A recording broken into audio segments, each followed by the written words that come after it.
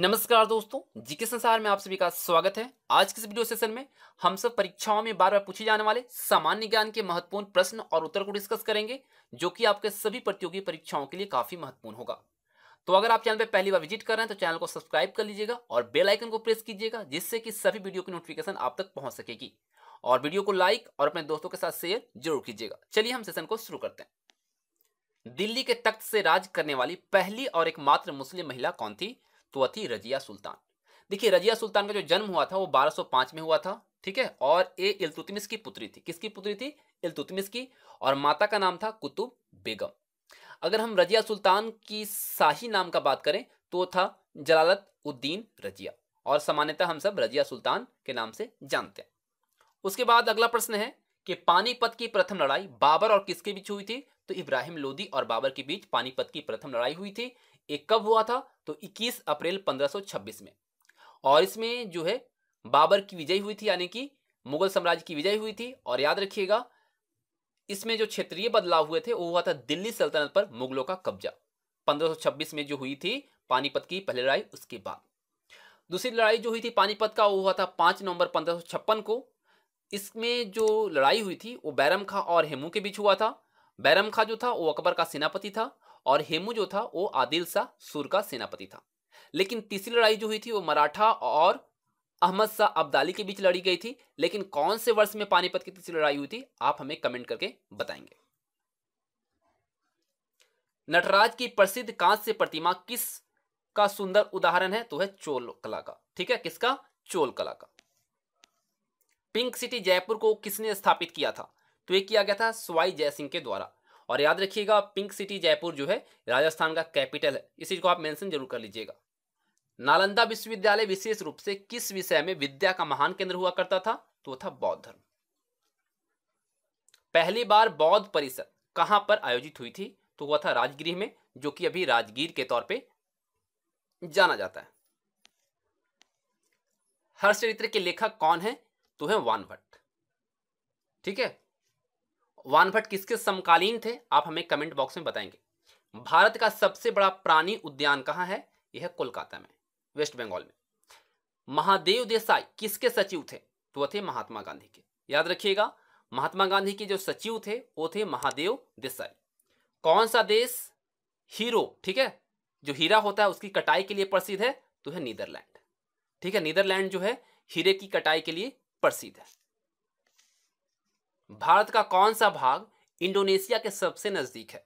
हमारे देश का कौन सा वो पार्ट है जो कि इंडोनेशिया के सबसे नज़दीक है? तो है अंडमान निकोबार द्वीप समूह। भारत में सबसे ज़्यादा नमक का उत्पादन कौन से राज्य में होता है? तो होता है गुजरात में, और सबसे लंबी जो समुद्री तट है हमारे देश का, वो गुजरात में है हिमालय पर्वत की सबसे ऊँची चोटी कहाँ है? तो है नेपाल में। माउंट एवरेस्ट जो है, सबसे ऊँची चोटी है हिमालय का, और ये कहाँ पर है? नेपाल में। और हमारे देश का जो सबसे ऊँची चोटी है, वो कौन सी है? कंचनजंगा। डिगबोई तेल क्षेत्र किस राज्य में स्थित है? तो है आसाम में।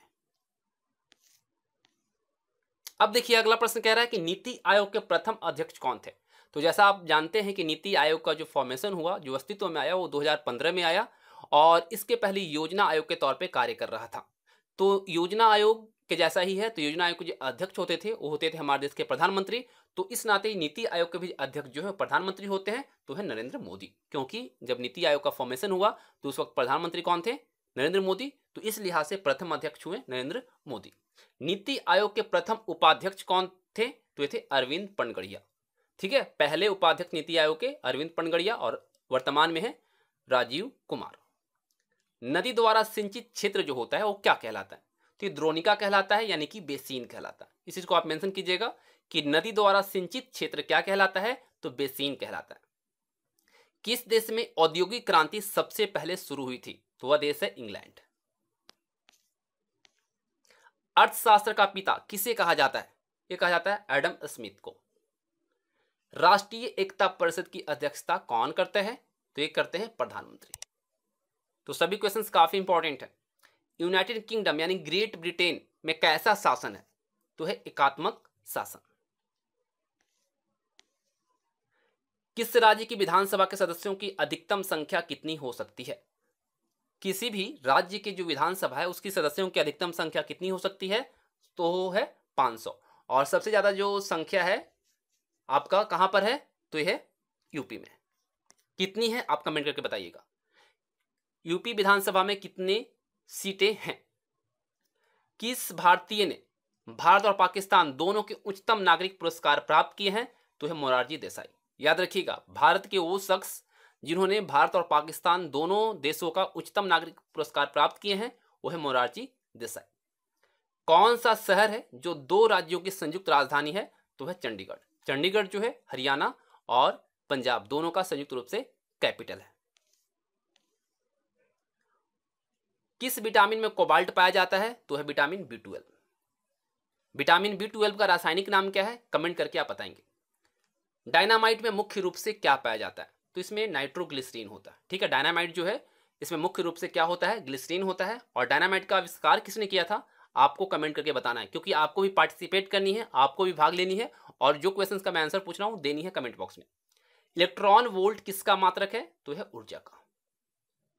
ग्रामीण विकास संस्थान कहाँ स्थित है? तो ये हैदराबाद में, और हैदराबाद जो है, तेलंगाना का कैपिटल है। और याद रखिएगा एक जो बहुत इंपॉर्टेंट है कि उनतीसवां राज्य बना था तेलंगाना, लेकिन जम्मू कश्मीर जब से केंद्र शासित प्रदेश बना है, तब से अट्ठाईसवां राज्य हो गया है हमारे देश का। ठीक है? कब बना है? 2014 में। आंध्र प्रदेश से अलग होकर। ध्वनि किस रूप में यात्रा करती है? तो ये करता है अनुधैर्य तरंग गति में। महानदी और कावेरी नदियाँ किस दिशा में बहती हैं? तो ये पूर्व दिशा में बहती हैं। याद रखिएगा, महानदी और कावेरी नदी जो है, वह जिस ओर बहती है, वो दिशा है पूर्व दिशा। अंग्रेज़ों ने भारत में सर थॉमस रो को किसके शासनकाल में भेजा था? तो थे जहांगीर। कौन सा राज्य सदाबहार चंदन के लिए प्रसिद्ध है? तो हमने आपको बताया था कि चंदन का जो वृक्ष पाया जाता है या लकड़ी का जो उत्पादन होता है, सबसे ज़्यादा कहाँ होता है? कर्नाटक में होता है। Karnataka is the right answer वित्त आयोग की नियुक्ति कौन करता है? तो ये किया जाता है राष्ट्रपति के द्वारा। ठीक है? फिनांस कमीशन की जो नियुक्ति होती है वह राष्ट्रपति के द्वारा होता है। गुजरात के किस स्थान पर हड़प्पा की सभ्यता के अवशेष मिले थे तो वह लोथल। मुस्लिम लीग का प्रथम सम्मेलन कहाँ हुआ था? अमृतसर में। कब हुआ था? अगर आपको पता है, कमेंट करके बताइएगा। किस मुगल सम्राट ने श्रीनगर में स्थित सालीमार बाग बनवाया था तो वह बनवाया था शाहजहां ने। ठीक है? जो श्रीनगर में स्थित है सालीमार बाग, जो काफ़ी फ़ेमस है, आप जानते हैं, इसको बनवाया था शाहजहां ने। अकबर के दरबार में सर्वाधिक प्रसिद्ध हिंदी कवि कौन थे? तो वह थे अब्दुल रहीम खाने खाना। भारत के पश्चिम में कौन सा प्रायद्वीप है? तो है अरब प्रायद्वीप।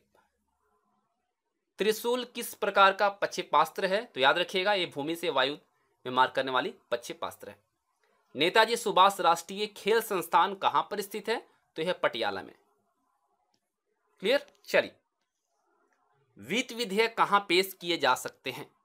तो ये केवल लोकसभा में पेश होता है। कर्क रेखा और मकर रेखा के बीच कौन सा कटिबंध पाया जाता है? तो वह उष्ण कटिबंध। ठीक है, अगर आपसे पूछा जाए, कर्क रेखा और मकर रेखा के जो बीच का कटिबंध है वो कौन सा है? तो वह उष्ण कटिबंध। पेड़ ऊर्जा का कैसा स्रोत है? तो है नवीकरणीय ऊर्जा का।